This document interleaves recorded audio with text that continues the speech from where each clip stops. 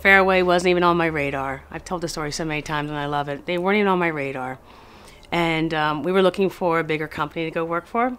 And someone else had told me, you really need to talk to these guys. They really understand our business.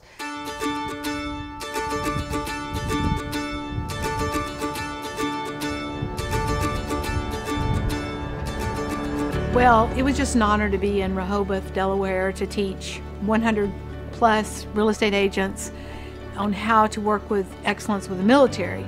The Certified Military Residential Specialist course was designed for just that, not only to give continuing education credit, three hours, yes, that's a bonus, but also to bring awareness to our real estate community, to Americans everywhere, of the need uh, for Americans to get involved as wounded warriors come back from war and to help them to reintegrate into society.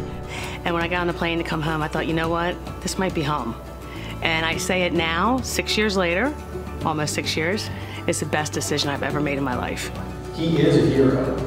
And today, today is his day. And so, William, we just wanted to say thank you for your service today. He was wounded. He deserves a house. He deserves to come home and, and be treated and with honor. There are people who want to kill us, destroy us, and take us down. And there's a group of individuals who have committed to fight for our freedom and still stand today on foreign soil to do that.